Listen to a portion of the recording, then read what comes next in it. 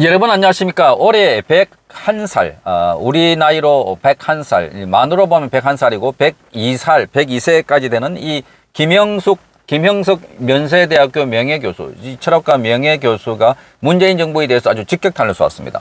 좀 어, 문재인 정권이 추진하고 있는 언론중재법 개정안이 공산주의 국가에서나 볼 수 있는 언론 탄압 형태와 비슷하다.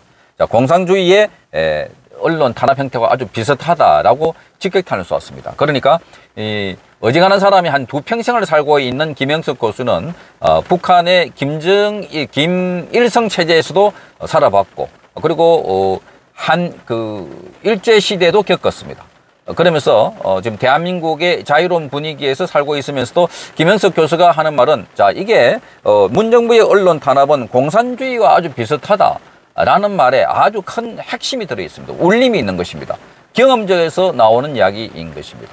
자, 노 철학자, 아직도 정신이 생생하고 많은 강의를 하고 다닐 정도로 아주 건강한 연세대학교 김형석 교수가 어, 최근에 논란이 되고 있는 언론중재법에 대해서 아주 문재인 정부의 직격탄을 쏜 것입니다. 자, 김형석 교수는 문재인 정부의 언론 어, 압박을 비판하면서 공산주의 체제에 북한 또 중국처럼 북한과 중국처럼 가족들 사이에서도 진실을 말할 수 없게 되면서 진실과 정의 그리고 인간에게 사라지게 된다 이렇게 말했습니다. 자, 진실과 정의, 인간애가 사라지게 된다. 자, 김형석 교수는 어, 일본 산케이 신문과의 인터뷰에서 여당인 더불어민주당의 언론중재법 통과 추진을 겨냥해서 문재인 정부가 언론에 대한 압박을 강화하고 있다 하면서 이렇게 말했습니다. 특히 김형석 교수는 언론중재법 통과 등 언론 자유가 없어지면 한국 사회가 당이 하는 일이 정의로 여겨지는 북한과 중국의 이런 공산주의 체제와 아주 비슷해질 수 있다 이렇게 말을 했습니다. 그야말로 공산주의 사회가 된다 하는 것 하고 이게 직격탄을 쏜 것입니다.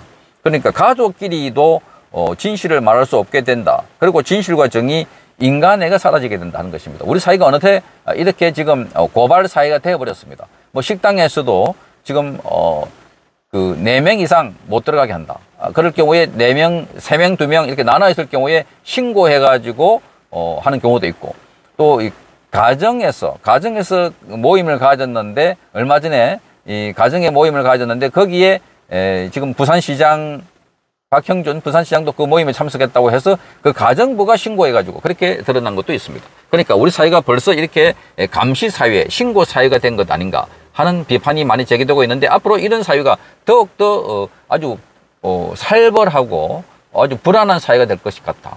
그러니까 이 탈레반 사회가 그런 사회가 아닌가. 탈레반 뭐 총 들고 다니면서 그냥 어, 해짓고 다니고 어, 또 그리고 어, 거기에 제보를 기다리고 그래서 그게 어, 미국에게 협조했던 사람들 곤란해서 어, 처형을 하고 있는 이런 걸 보면 지금 우리 사회도 그렇게 닮아가고 있는 것 아닌가 하는 생각이 드는데 김영석 교수가 이걸 아주 정확하게 집어봤습니다. 그러니까 음, 언론중재법 오늘 이 언론중재법은 9월 27일 날 여야가 합의해서 통과시키기로 이렇게 에, 합의를 봤습니다. 그런데 어, 9월 27일까지 제대로 합의가 될지 이것도 의문입니다. 왜냐하면 이 대깨문들이 계속해서 뭐 작업을 하고 여론 조성하면은 자 그렇게 또 쉽게 갈 수 있을까 하는 걱정인데 어쨌든 지금 어, 8월에 통과시키겠다 하는 강경 입장은 이미 어, 누그러졌습니다. 강경 입장이 누그러진 정도가 아니라 손을 들었다고 봐야 됩니다. 국민들과 국제 여론에 손을 들고 지금 이 언론중재법을 그야말로 언론 악법을 만들어서 이 언론인들의 재갈을 물리고 언론사에게 아주 징벌적 손해를 어, 매겨서 어, 제대로 보도를 하지 못하게 하는 이런 어, 법을 만든다는 것 자체가부터가 전 세계 우선거리가 되고 있는 상황입니다. 자, 이걸 의식해서 그런지 오늘 여러 가지 내부의 반발 또 내부 견제 뭐 이런 것들을 통해서 드러난 행태를 보고 전격적으로 9월 27일 날이 어, 여야 합의하고 또 전문가 두 사람, 그 전문가 약두 사람 두 사람이니까 네 사람이죠. 그리고 여야 대표 두 사람씩 모두 8인 협의체를 구성해서 논의한다 하는 것은 새롭게 이걸 무슨 어, 짜가지고 다시 언론 관련된 법을 한다. 거기다가 음, 지금 방송사의 공영 방송사의 지배구조 그러니까 이 이사 또는 사장을 어떻게 할 것인가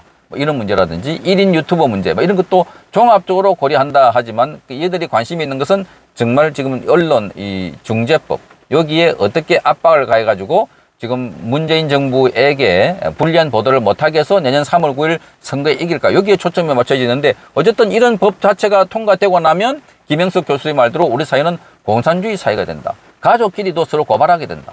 자, 가족끼리도 부모가 어, 자식이 부모를 고발하는 이런 행태가 북한에서 있어 왔고 자 그런 사회가 한국에도 일어날 수 있다는 것을 아주 엄중하게 경고를 한 것입니다. 자, 이 김영석 교수는 우리 사회에 아주 어, 깊게 여러 가지 활동을 하면서 문재인 정부의 학정 폭정에 대해서 여러 갈래로 어, 이 지적을 해왔습니다. 자, 이 1947년 어, 북한에서 월남했습니다. 당시 북한이 종교나 사상의 자유가 없는 나라가 될 수 있다는 사실을 깨달았다 이렇게 말하면서 70여 년 전에 내가 평양에서 겪은 자유와 이 진실의 상실이 지금 홍콩에서 일어나고 있다 이렇게 말하고 있습니다. 홍콩 자유와 진실의 상실이 홍콩에서 일어나고 있고 아프간에서 일어나고 있다. 자, 이런 측면에서 보면 김형석 교수는 중국에서 시진핑 국가주석이 마오쩌둥 시대의 강권 체제로 돌아가려고 하고 있고 홍콩에서도 민주 운동가들에 대한 탄압이 계속되고 있다 이렇게 지적하고 있습니다. 중국의 강권 사상이 21세기에도 남아 있는 것은 아주 큰 불행이다 이렇게 지적하고 있습니다. 정확하게 지금 볼 수 있는 것입니다.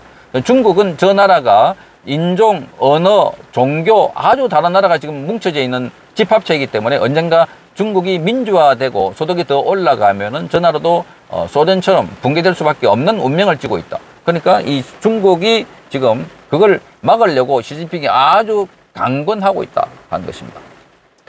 자, 평북 운산 출신인 김형석 교수는 일본 어, 조치대학에서 철학을 전공했고 1954년에서 1985년 사이에 연세대학교 철학과 교수를 재직하고 있습니다.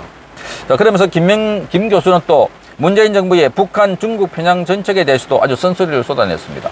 그 보면 자 문재인이 중국에 의지해서 북한과 통일할 수 있다고 생각하는 듯한데 자 50년 뒤에는 이게 큰 실수라는 것을 알게 될 것이라고 경고했습니다. 자 50년 뒤에 50년 뒤에는 아마 김영수 교수가 어, 여기 계시지 않을 가능성이 매우 큽니다. 그럼에도 불구하고 어, 긴 시간을 살아보니까 일종의 터득한 지혜가 있다. 바로 어, 중국에 의지해서 통일한다는 것 자체가 너무나 큰 실수가 될 것이다 라고 경고를 냈습니다. 그러면서 대일 정책에 대해서도 어, 문재인 대통령이 항일 운동을 하듯이 애국자로 존경받고 싶다는 생각에 사로잡혀 있다 이렇게 비판했습니다. 그러니까 이 토착 외고 선동을 하면서 반일 운동을 계속하면서 마치 자기가 이 항일 운동하듯이 어, 독립운동가인 것처럼 이렇게 착각을 가지고 있다. 착각을. 그게 핵심적인 인물 또한 김원웅이라고 하는 이 광복 회장도 마찬가지다. 그러면서 우리의 이 건국 대통령 이승만, 박정희 등등 해서 애국 지사들을 말하, 말하자면은 이 반일 프레임으로 집어넣어 가지고 계속 공격을 하고 있는 것이 이들 세력이다. 자, 김영석 교수 지금 이 언론 어, 이미 한 풀을 꺾였지만 그러나 이런 법을 만들려고 강하게 드라이브 걸었던 문재인 정권에 대해서 바로 공산주의 체제에서나 볼 수 있는 일들이다라고 아주 핵심을 찔러버렸습니다. 김영석 교수님의 건강을 기원해 봅니다. 성창경 TV였습니다.